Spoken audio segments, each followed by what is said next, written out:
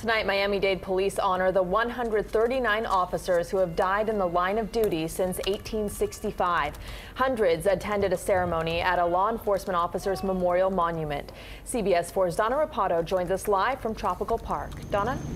Rudabeh, this is the 35th annual ceremony honoring these fallen officers who've died across Miami-Dade. There is the memorial back there. They're just turning uh, things out. There's a usually a flame that is lit where the names of the officers is etched. It's a beautiful memorial park out here honoring these officers. After 35 years, this still draws huge crowds and a lot of emotion. Hundreds of law enforcement officers come to this ceremony each year at Tropical Park honoring their fallen brothers and sisters of the badge. Symbolic traditions fill the memorial like the sound of bagpipes, flag presentation to loved ones, and the riderless horse.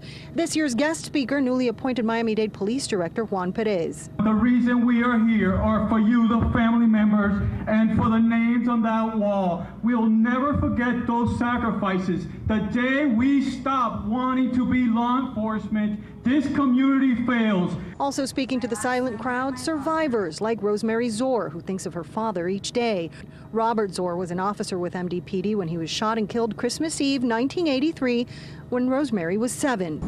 My last memory of my father is when he left our family dinner on Christmas Eve to take a call. I remember him kissing me goodbye and telling me he would see me in the morning to open my gifts from Santa. That never happened. Meredith Thompson. Have died in the line of duty. A 21 gun salute, chopper flyover, sirens and lights everywhere punctuate the night before a final moment of silence. And again, 139 state, local, and federal officers killed across Miami-Dade from 1865 to 2011. We're live in Tropical Park. Donna Rapado, CBS 4 News, tonight.